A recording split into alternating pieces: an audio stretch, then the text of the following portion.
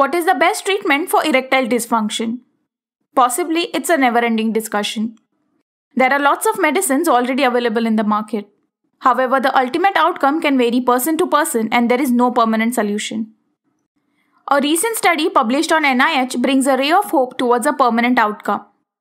But still, there is no better alternate like regular exercise, a good sleep, healthy diet, and controlling other health problems like diabetes, hypertension, and stress. The current study used high dose of L-arginine supplement for 3 months.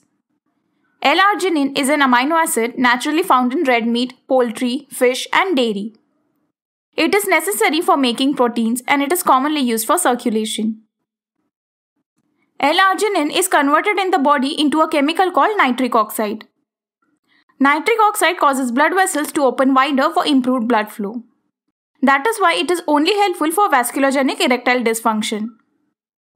There are many types of erectile dysfunction. Among them, vasculogenic erectile dysfunction is the most common variant.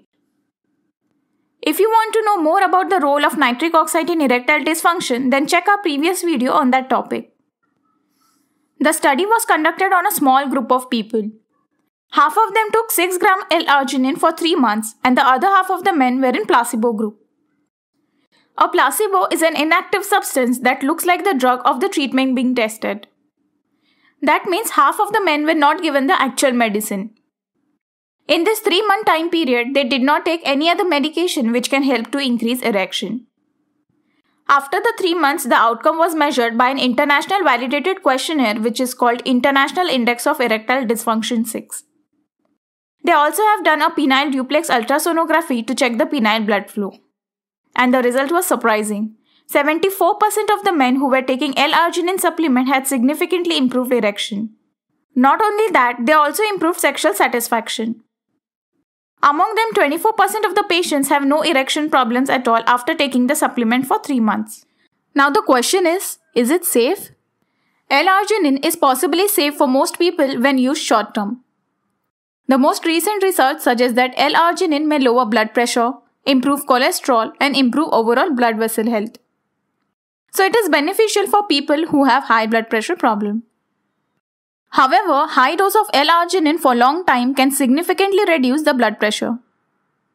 It can also cause heartburn, scrotal etching, stomach pain and diarrhea.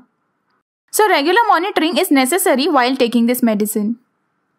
It's important to know that L-arginine supplements can interact with some medications including blood thinners like aspirin and warfarin, certain diuretics, nitroglycerin, some high blood pressure medications, erectile dysfunction drugs, and diabetes medication.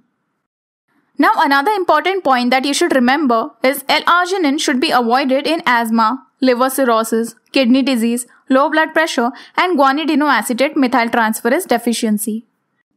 Although the study was conducted on a very small group of people, it is a ray of new hope in the treatment for erectile dysfunction. More research will be needed to conclude the final verdict. Alright, so that's all for today. Hope you liked our video. Don't forget to like, share and subscribe to our channel. Thank you.